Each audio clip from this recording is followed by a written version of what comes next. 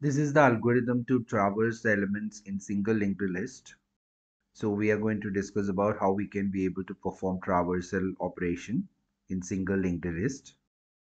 For that purpose, first we need to write a method inside the class linked list class. We are writing the method which is named as traverse void traverse that is a method name. Now during the traversal first we need to check whether linked list is already empty. It can be checked by finding the value of begin if begin is null, that means linked list is empty. So we won't be able to perform any traversal. Now in the else part, else means the linked list is not empty. So in this case, we can see that our linked list consists of three values, three nodes are there with values A, B and C. A is connected to B and B is connected to C. And the next value of C is null because that's the last node. And begin pointer points to the first node.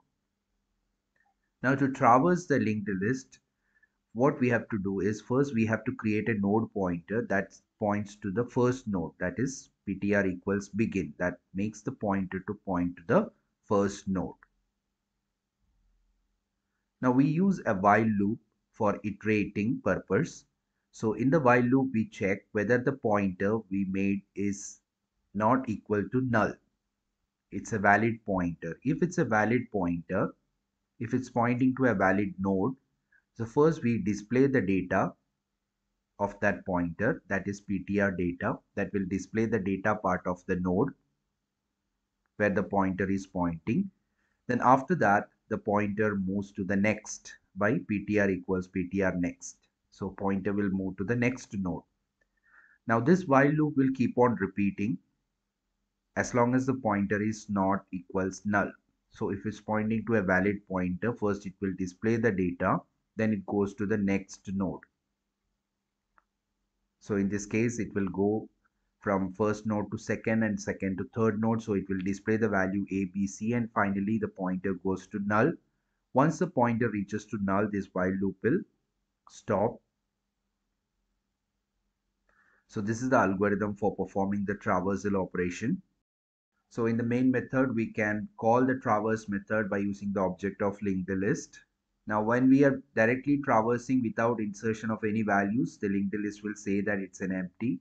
Now, by using any of the logic of insertion operations, either insert at the beginning, end, or at a position, we can insert set of values into the linked list and traverse